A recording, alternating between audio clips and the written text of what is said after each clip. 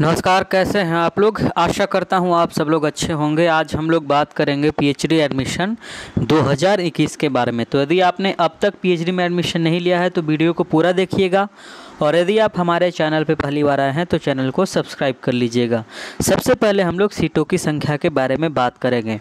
पहले नंबर पे बात करते हैं, फैकल्टी ऑफ़ आर्ट्स के बारे में। यहाँ पे हिंदी में चौदह सीटें हैं, अंग्रेज़ी में दो है, संस्कृत में उन्नीस है, उर्दू में चार है, म्यूज़िक में सात है, ड्राइंग एंड पेंटिंग में दो है।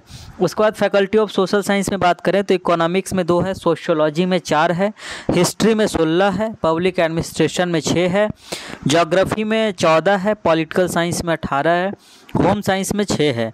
उसके बाद फैकल्टी ऑफ़ साइंस में बात करें तो केमिस्ट्री में चौदह है, बोटनी में सोलह है, जूलॉजी में सोलह है, फिजिक्स में छः है, मैथमेटिक्स में छः है, कंप्यूटर साइंस में तीन है। और उसके बाद faculty of commerce and management की बात करें तो ए बी एस टी में छः है और उसके बाद बिज़नेस एडमिनिस्ट्रेशन में चार है ई ए एफ़ एम इसमें दो है और मैनेजमेंट में तीन है। फैकल्टी ऑफ़ एजुकेशन की बात करें तो एजुकेशन में सोलह सीटें हैं और फ़िज़िकल एजुकेशन में दो है। उसके बाद फैकल्टी ऑफ़ लॉ की बात करें तो फैकल्टी ऑफ़ लॉ में टोटल तीन सीटें हैं। यानी कुल सीटों की बात की जाए तो 211 सीट है। आगे बात करते हैं। यदि candidate are advise to apply in the relevant subject for their post graduation post graduation only for the PhD programme यानी कि आपका जिस सब्जेक्ट में पोस्ट ग्रेजुएशन है, उसी में आप पीएचडी के लिए अप्लाई करें। इन्होंने पहले ही आपको सलाह दे दिया है। आगे बात कर रहे हैं, सीट की संख्या बढ़ाई भी जा सकती है, घटाई भी जा सकती है तो सभी जगह का रहता है, सभी यूनिवर्सिटी में ऐसा ही रूल होता है। लास्ट डेट की बात करें तो 15 सितंबर तक आप ऑनलाइन कर सकते हैं, यानी आपके पास पर्याप्त समय है। यदि examination fee and mode of payment की बात करें, तब आपको यहाँ से जा के पेमेंट करना इस लिंक से। यूनिवर्सिटी का लिंक है वेबसाइट है डब्ल्यू यू का क्या मतलब? University of Kota Kota university जो कि एक स्टेट यूनिवर्सिटी है, राजस्थान में लोकेटेड है। वहाँ से वैकेंसी निकली है। बहुत अच्छी यूनिवर्सिटी आपको करना है तो आपको फॉर्म ज़रूर भरना चाहिए। यदि फ़ी की बात करें तो फ़ी इन लोगों ने बहुत ज़्यादा रखा है, जो कि इतना फ़ी तो कभी भी नहीं होना चाहिए। Entrance examination fee for the PhD programme is twenty five hundred तो देख लीजिए, पच्चीस सौ रुपये हैं। जनरल कैटेगरी के लिए और जो S C S T and O B C हैं, उनके लिए स्पेशली जो एबल्ड पर्सनस हैं, यानी कि जो पी एच कैंडिडेट हैं, उनके लिए एक हज़ार रुपया है। तो मतलब कुछ ज़्यादा ही फ़ी है, इतना फ़ी वगैरह तो रखना नहीं चाहिए ऑनलाइन के लिए, लेकिन क्या कर सकते हैं?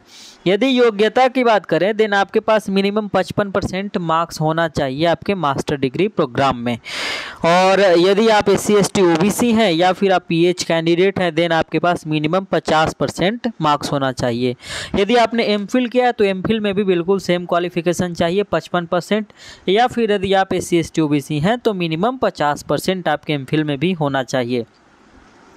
आगे बात कर लेते हैं procedure for admission the university shall follow the rules of the reservation policy the syllabus of PhD entrance examination shall consist 50 percent of research methodology as part one and fifty percent of subject specific as part two यानी कि आपका जो entrance examination होगा, उसमें दो paper होगा। एक paper में आपसे रिसर्च मेथडोलॉजी पूछा जाएगा और दूसरे पेपर में आपसे सब्जेक्ट से रिलेटेड क्वेश्चंस पूछे जाएँगे फिफ्टी फिफ्टी तो ध्यान रखिएगा।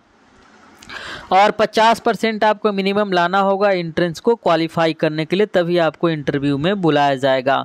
All the candidates having UGC CSIR JRF NET और एसिलिटी स्लेट एसीटी और teacher fellowship shall be exempted from PhD entrance test and will be called for interview final selection shall be as prescribed in the in these regulations यानी कि आपके पास net है JRF है, चाहे वो सीएसआईआर का नेट हो यूजीसी का नेट हो, या फिर आपने स्टेट लेवल का कोई टेस्ट पास किया है, तब भी आप यहाँ से एग्जेम्प्टेड रहेंगे, आपको यहाँ पे टेस्ट देने की ज़रूरत नहीं होगी।